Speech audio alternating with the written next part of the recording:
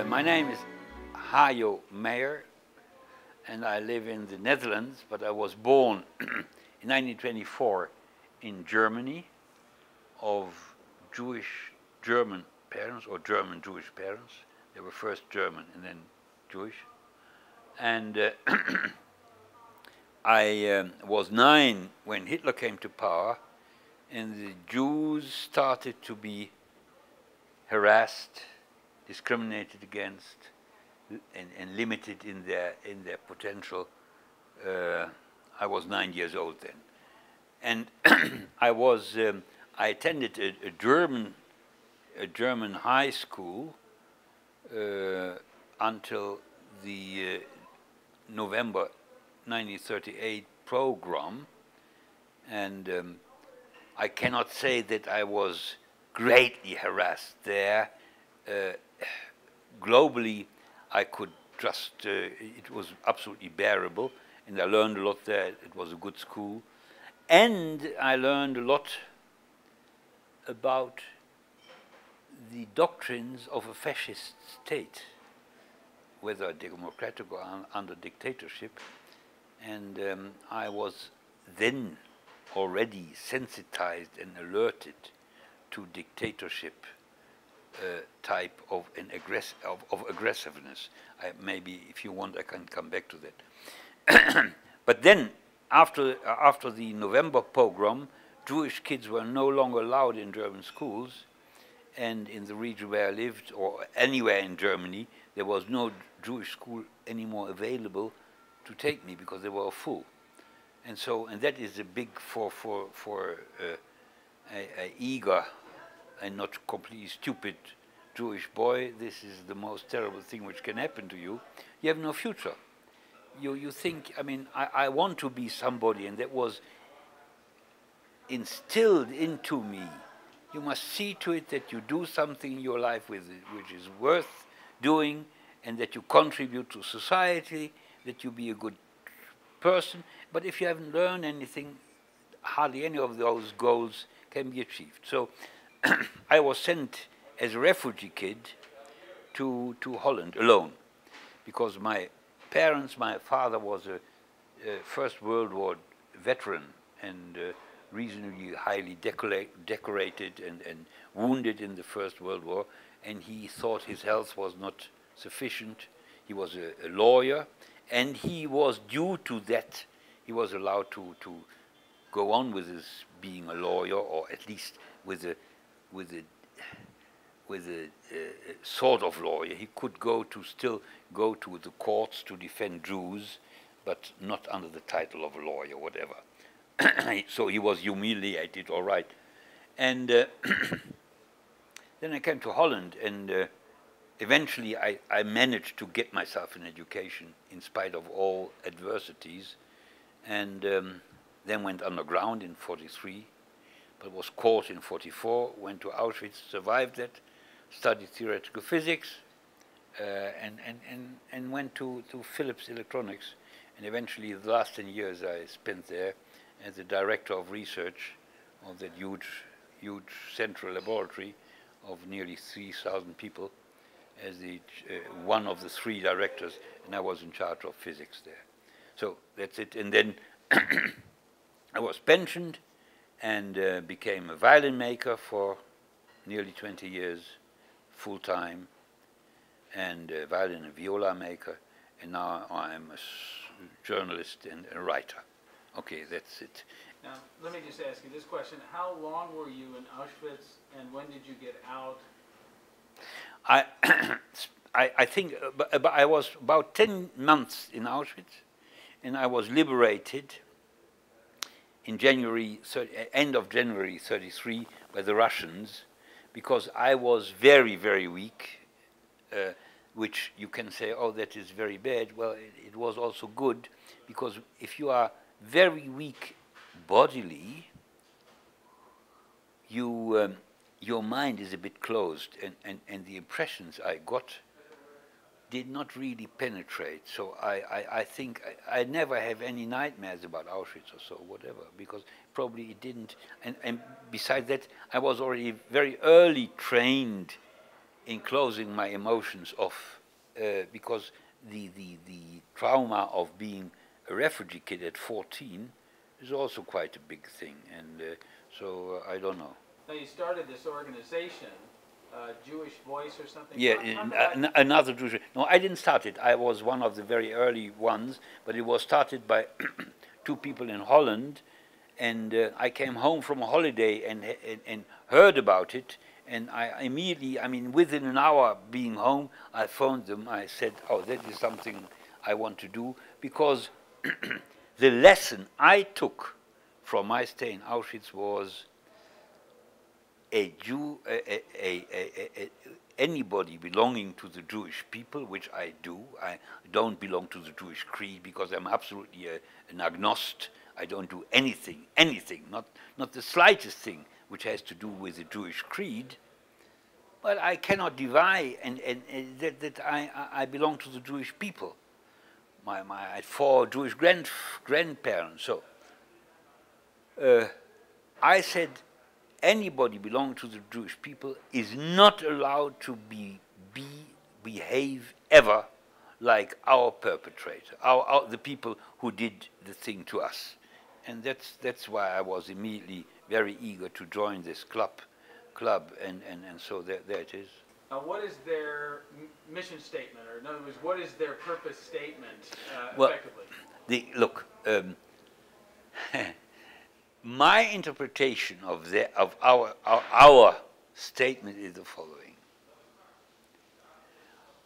The, any criticism on the policies of Israel is hampered and made impossible by a terrible trick and, and crime of Israeli propaganda that any criticism on the politics of Israel comes out is induced by anti-Semitic feelings.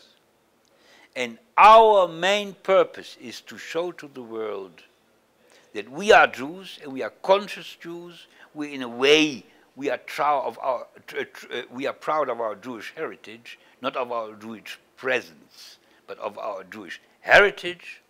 And we want to show that you must criticize Israel if you at all want anything good for the Jews in the world, because what Israel is doing is destroying the Jewish world and the Jewish heritage.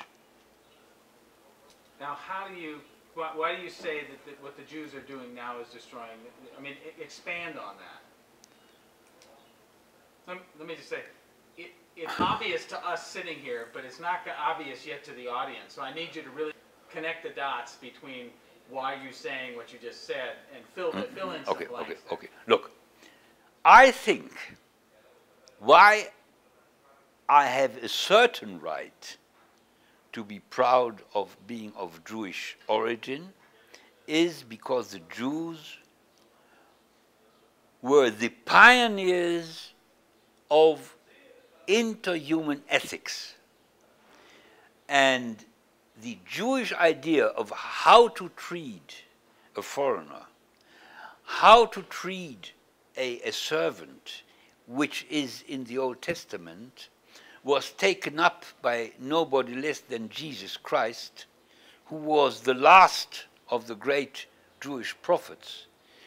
The prophets in the whole tradition wanted to stress and to uh, to stress the ethical content of Judaism, which is there the interhuman ethical content of Judaism, and uh, they and, and this is exactly what Jesus Christ tried to do, and so via Jesus,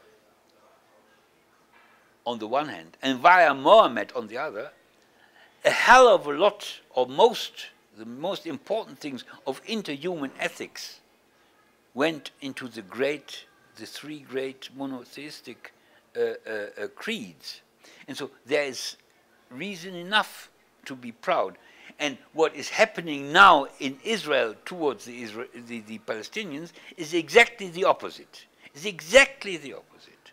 They, they treat them like, like vermin. They, they, they talk about them in terms, I mean, like, for instance, the, the, the chief of staff uh, of the Israeli army recently, the, the, the Palestinians are a, a cancerous growth. You can apply surgery to get rid of them. I mean, that type of talking is exactly the opposite, and it's actually, it's actually like Nazi talking. That's what was said about me when I was a boy, a Jewish boy in Germany, under the Nazis. And so your work then is to do what with this group? Well, to, to, to publicize, for instance, a statement like this by Ayalon, and to and and, and I, today we spent with a, with a friend we know via via who is who is trying to help the farmers who are dispropriated by the building of the wall and, and we want to publicize this and, and, and, and, and make, make a noise in the world. You, you know, when, when, when the Nazis gassed the Jews, the world was silent. Now, the world is silent while the Jews or the Israelis uh, harass, dis, uh, uh, uh, humiliate, and, and, and, and, and steal away land from the Palestinians. And the world is silent. And I want to awake the world because there's a very nice poem by, a, by an Israeli poet who lives in Holland which says, also the hand of those, the hands of those who see it all but stay uh, don't move as if they were paralyzed, color red. You made a comment earlier that um, you can kill people by other than gas. Yes. Expand on that comment and what you were getting at yes. there. Well, you can, first of all, the, one of the most important things for any conscious human being is to develop her or his own potential. And you can never develop your potential if you are deprived of, of access to education. And, and that is exactly what happened to me when, oh, and go. Yes. Okay, so why do I say that you can kill people without gas chambers? That is because a human being is only a full human being if she or he can develop its his or her her or his full potential. Then she can can can do all she can to to to help mankind to and to be happy with with, with herself and whatever. If you then if you therefore, if you deny young people who have potential, if you deny them access to, to education, you rob their future. And if you have no future, you have no life. And if you have not developed this, uh, yourself to the full, you are at, at, at least handicapped, if not, if not, although you st may still walk around, you are dead. And I, I, isn't that also a story of, of, Jesus and the talents? So, I mean, this is a very, very, and I know it for myself because I tell you, I, I have the letters I wrote as a refugee kid to my parents who still were in Germany. And they are full of, oh gosh, what will happen to me? I have no education. And eventually I got it, by, by they helped and, and I did a lot and, and whatever, and I was lucky.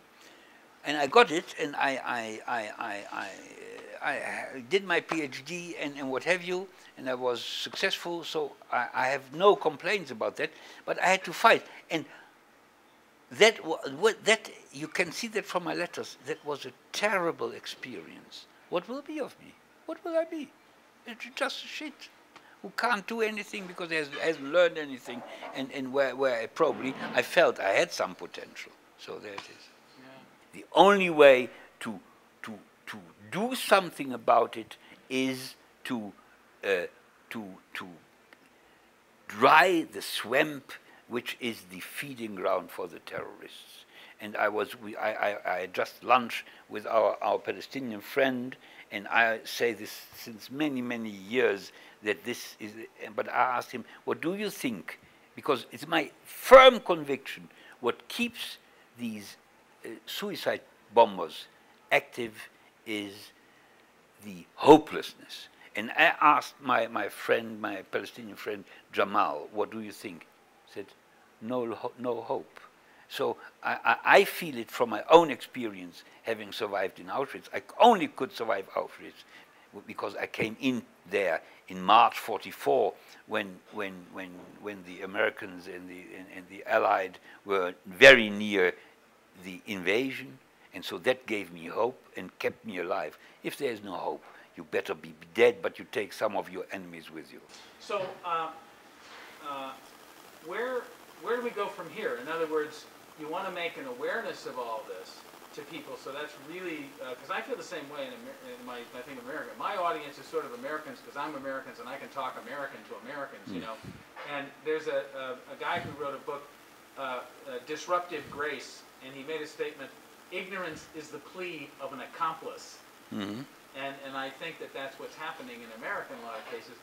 Uh, but then there's there's the policymakers and the government of America who's always been so very, very protective of, of Israel and, and even the way that they act. How do you respond to that?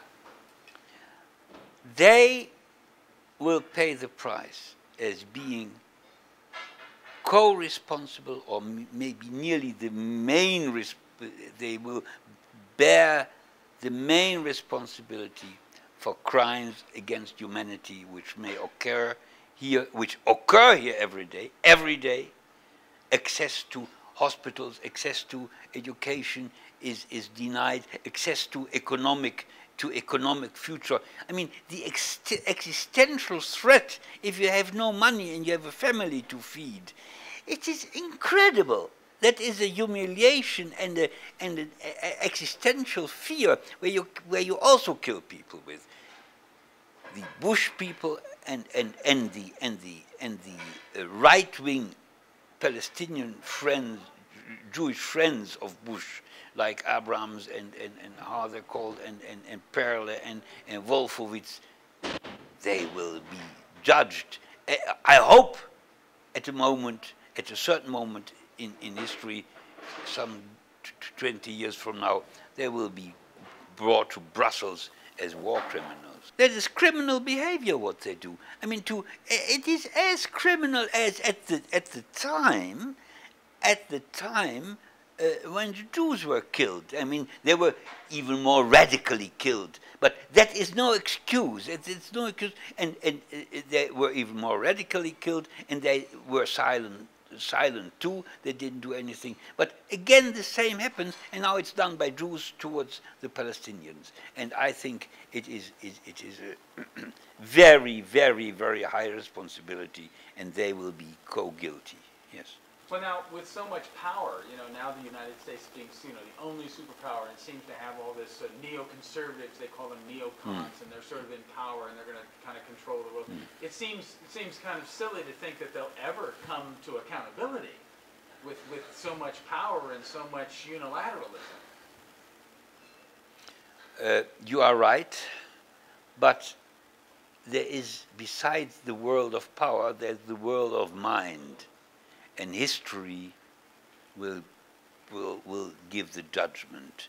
And, you know, we had Ivan the Terrible in Russia, and uh, uh, we, we, had several other, and maybe maybe uh, uh, uh, George. We, we, later later generations will talk about George W. as the Terrible. What do I know?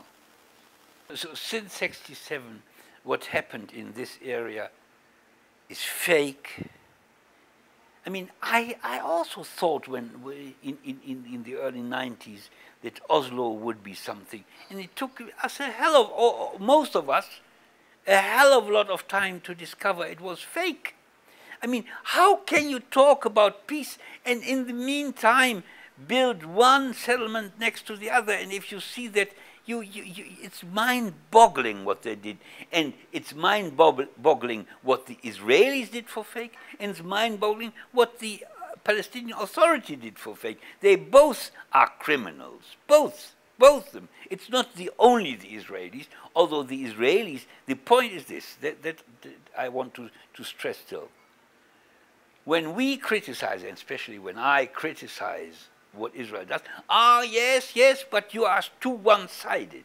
And I always say this, in a, in a situation which is so essentially asymmetric, where there is one big power and the others are, are underdogs in any way, you cannot be even-handed in your criticism because a, a, a, such an unequilibrated situation can only be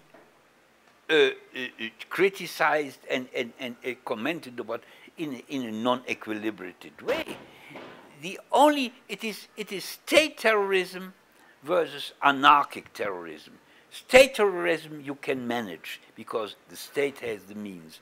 The anarchy, which has no infrastructure and, and where, where the, the, the terror comes from dissident groups, you cannot manage. What do you think the hope is for making any of these changes as far as uh, what you're trying to do? I mean, if you make people aware, what are people being, so, so my point is, if I become aware, whether in Holland or in America, okay, I'm aware, I think this is a terrible thing. But the question is, well, what do I do to move the rock? I mean, you know, what are practical things? Because yes. you walk around being aware and then you just go to Disneyland. Well, look, our organization has contacts with foreign affairs in Holland, but Holland is a tiny country and, and has no power whatsoever. But we hope that by continuously trying to influence European policy, that the Europeans will exert some pressure. I, I mean, it's a tiny hope, I agree, but uh, look, if you don't do anything, you are also co-responsible, because that is one important and, and nice paradox. Israel and and, and the friends of Israel always say, yes, we know it's not all according to the right laws of humanity, but don't forget Israel is the only, is the only uh, democracy in a region where there is no democracy at all, and what they do towards the Palestinians is still less than what Hussein did with his own people. Okay what these people, they are, in, in, in some ways, they are right. But this being right makes it worse for them because the more the degree of responsibility, the more the individual citizen is co-responsible for what, what his or her government does. I lived under Hitler's Nazi regime in Germany and which was comparable to Stalin's in Russia. And you could only do so, you, you could do nothing. When, when you opened your mouth, you were in a concentration camp, and you said something, you were already dead. There were very few, like Geschwister Scholl, the, the famous Munich students who tried to do something, and those people of, of the 20th of July, and you had the Sakharovs in, in, in Russia, and, and similar people not, you cannot expect of, of any majority being heroes. You need to be a hero because in order to, to bring into jeopardy your own family, that requires a hell of a lot. So you cannot expect. So therefore, at the moment, the Israelis and the Americans and anybody and elsewhere in the democratic world are co-responsible for what happens here towards the, the Palestinians.